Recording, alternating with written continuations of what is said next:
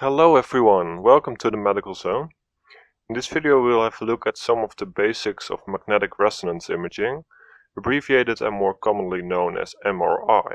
By use of MRI you are able to visualize detailed anatomy in all three planes, so axial, sagittal and coronal. The MRI uses a technique called nuclear magnetic resonance and its function is actually based on the magnetization properties of certain atomic nuclei within the body. Hydrogen nuclei, or just protons, are present in water, which is very abundant in the human body. MRI can use the proton's natural magnetic properties. The proton behaves like a small magnet, spinning on its randomly aligned axis. So what MRI scanners actually do? They create a magnetic field, of which the strength is measured in Tesla.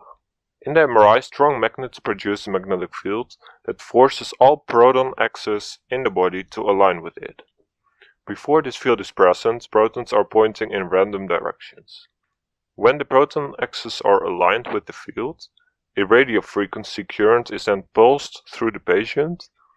Stimulation of the protons will lead to a spin out of equilibrium against the pull of the magnetic field. The radio frequency current that is needed to create the spin is dependent on the chosen element, and most often this is hydrogen, and the magnetic field strength. After the radio frequency pulse, the protons realign with the magnetic field, and this is called relaxation. During this realignment, an energy signal is emitted which can be detected by sensors. The amount of energy released and the time it takes for the proton to realign with the magnetic field depends on the environment and the nature of the molecules. So faster proton realignment will create a brighter image. The magnetic properties can therefore be used to tell the difference between various types of tissues. Alright, these were somewhat simplified basics, but I will now go more into detail, so if you are not interested in any more details, you can just stop the video here. Alright, let's go on. Actually, it's more complicated than I just explained. When the magnetic field is applied, the axes of the protons are not just lining up with the magnetic field, but an external magnetic field will produce a kind of secondary spin or wobble of the proton's axis around the MRI's magnetic field. So let's have a look at a single proton. Here you can see it's pointed in a random direction. Now when the magnetic field is applied, the axis of the proton will spin around this field vector, and this is called precession.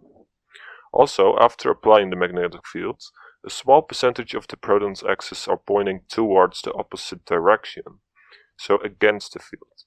This is because protons are just very weak magnets, but it's important to remember that the net orientation is alignment with the field. Some more definitions that you may come across are the T1 relaxation, this is also called longitudinal relaxation and uh, also spin lattice relaxation. This is the time to restore the axis from a perpendicular alignment to the magnetic field to a parallel alignment to the magnetic field. Protons in different tissues relax at different rates, so they all have their own T1 relaxation graph. And the clinical use of this is on a T1 weighted MRI, CSF is dark and blood and fat are bright. Also, there's something called T2 relaxation. This is transverse relaxation or also spin-spin relaxation.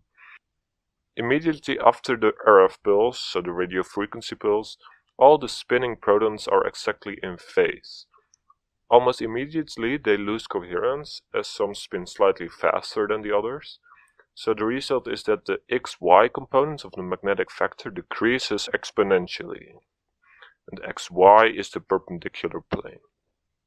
The clinical use of this on a T2 weighted MRI, fat is intermediate bright and fluid and CSF is bright.